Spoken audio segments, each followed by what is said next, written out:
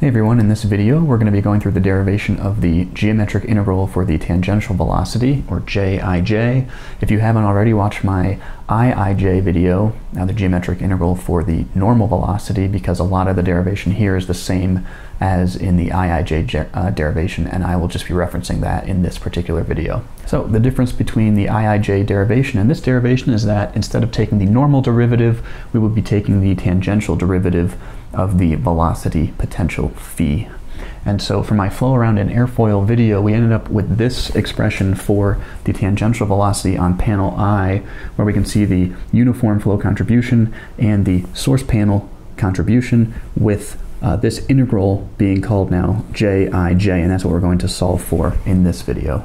So before we look at the integral portion of this, we're going to do the same thing that we did in the IIJ video, which is uh, evaluate this partial derivative uh, that's inside of the integral. And so the normal form that you are used to of the derivative of a natural log is just 1 over x. But if the argument of a natural log is also a function of x, then we have 1 over f of x df of x dx. That's just the chain rule. And so if we do that down here, we have our jij is equal to that integral from above, and we get 1 over f of x, where f of x is rij, so that's 1 over rij, and then df of x dx is drij dti now instead of dni. So from my panel method geometry video, we know that rij is equal to this expression up here, which is just the distance between point xi, yi, and xj, yj.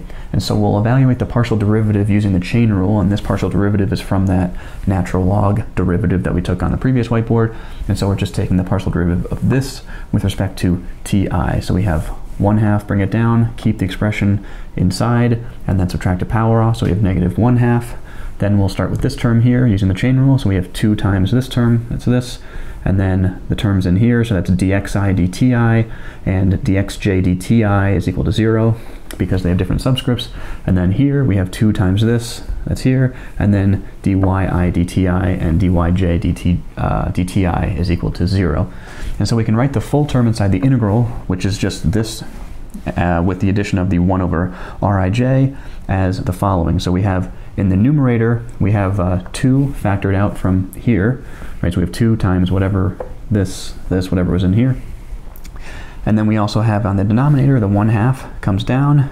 This whole thing can come down and we'll, uh, we'll negate the uh, power. So we have this whole thing to the 1 half. And the 1 over rij, that's this thing up here, right? We'll just bring that down. And that's still to a positive 1 half. And note that uh, a to the b times a to the c is just equal to a to the b plus c. Note that this and this are the same, so that's our A, and then B and C. So if we combine this down here, we can see that 1 half plus 1 half is just 1, which is why in the denominator here, we just have whatever's inside of that square root. The 2's cancel, and we end up with our Jij expression being the integral of the numerator, remember the 2 canceled, and then the denominator, which we found from this expression here, uh, dsj. And now you'll note in this equation that we still have two partial derivatives, and so we've been moving towards a result where we don't have any more partial derivatives so that we can start to integrate this. So we need to evaluate these two. And so for that, I'm going to take a look at a panel here, panel I, that's going from index k to k plus 1. I'm just using k because i and j are taken up by other variables down here. Uh, and then the angle that the positive x-axis makes with the tangential vector, that's this arrow right here, ti, so the tangential vector on the ith panel, that angle is phi i. Uh, you can go back to my panel method geometry video uh, if you're confused about that. And so this makes a triangle here, and so that's blown up right here. This angle still is phi i. This is a differential move in the tangential direction, so that's dti. Differential move in the x direction, dxi. Differential move in the y direction, dyi. And we can get uh, an expression for cosine of uh, phi i and sine of phi i. So cosine of phi i is equal to adjacent over hypotenuse. So adjacent over hypotenuse, dxi dti. Sine of phi i is opposite over hypotenuse, opposite over hypotenuse, dyi dti. And we can just plug those straight into this equation down here.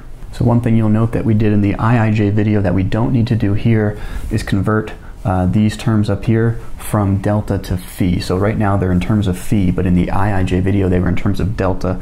And you can see why, because if I'm looking at a panel right here, and the tangent vector is along the panel, and the normal is an extra 90 degrees away from that tangent, well if you're looking at the angles, the angle from the positive x-axis to the tangent is already phi. But when we did the normal, from the positive to the normal was delta. So we needed to convert from delta to phi, but because we uh, inherently used phi before, we don't need to do that extra conversion. So we're going to start by trying to simplify down the numerator first. So that's just repeated up here from the previous whiteboard.